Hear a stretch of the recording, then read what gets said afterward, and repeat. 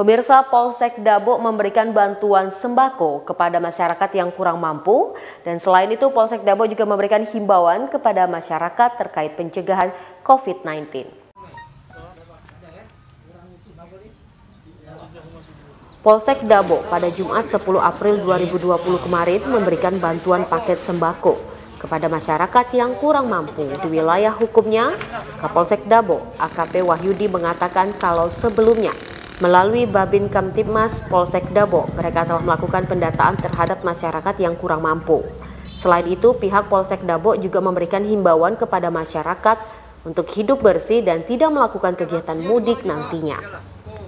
AKP Wahyudi mengaku kalau sembako tersebut mereka peroleh secara patungan dengan menyisihkan sebagian uang gaji sesama anggota Polsek Dabo. Selain itu, pihak Polsek Dabo sebelumnya juga telah memberikan bantuan sembako kepada kaum duafa dan yatim piatu serta melakukan pembagian masker kepada warga. Kapolsek Dabo berharap kegiatan yang ada dapat berlanjut. Anak kecil boleh anak, anak kecil boleh. Nah ini dia. Ah. Ambil. Anu, Pak nasi. Ah. Ya, libur. Terima kasih lah.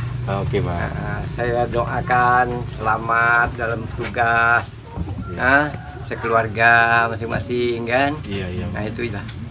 Pak tinggal dengan berapa orang Pak di sini Pak? Saya dua sama anak saya. Laki-laki. Kerja di? Sa- anak saya tak, tak ada kerja pak. Kalau maklum lah sekarang nih. Bu, gimana Bu dengan bantuan yang udah diberikan sama polisian Ibu? Terima kasih banyak ya Pak, karena hidup susah. Kan, itu kami bersyukur, Alhamdulillah pemberian dari pemerintah ya Pak ya, Kapolsek ya. Nah, mudah-mudahan Kapolsek kan bisa bantu masyarakat yang susah ya Pak ya. Ya, terima kasih. Selama ini dapat bantuan nggak Bu dari pemerintah Bu? Belum Pak, Belum pernah. Ibu pergi punya KTP kakak? ada? Ada semua, tapi belum pernah dapat bantuan. Belum. Baru ini Iya, terima kasih ya Pak ya. Iya, makasih Bu ya. Kami dari Pols Polres Lingga, Dabu Singkep membagikan sembako kepada warga masyarakat yang berada di wilayah hukum Polsek Dabu Singkep.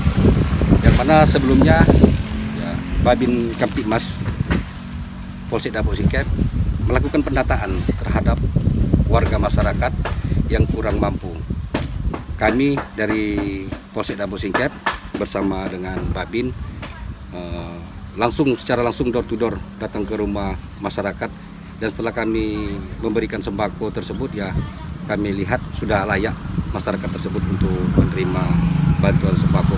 Apalagi sekarang ini terkait eh, COVID-19 yang mewabah di negeri kita ini. Selain kita memberikan bantuan sembako kita juga memberikan himbauan kepada masyarakat untuk hidup bersih terus untuk berdiam di rumah dan saat-saat sekarang ini untuk tidak mudik.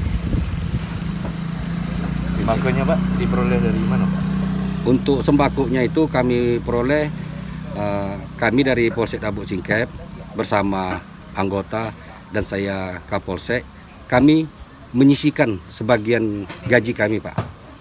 Jadi dari gaji kami tersebut kami sisihkan, kami kumpulkan, itulah yang kami belikan sembako dan kami bagikan kepada warga masyarakat yang berada di wilayah Dabuk dan sekitarnya, Pak. ada berapa babin Pak? Yang kami bagikan Iman, Tim Liputan TV Kepri dari Dapuk Singkep mengabarkan. ya ini kali kedua kita melakukan pembagian sembako. Sebelumnya kemarin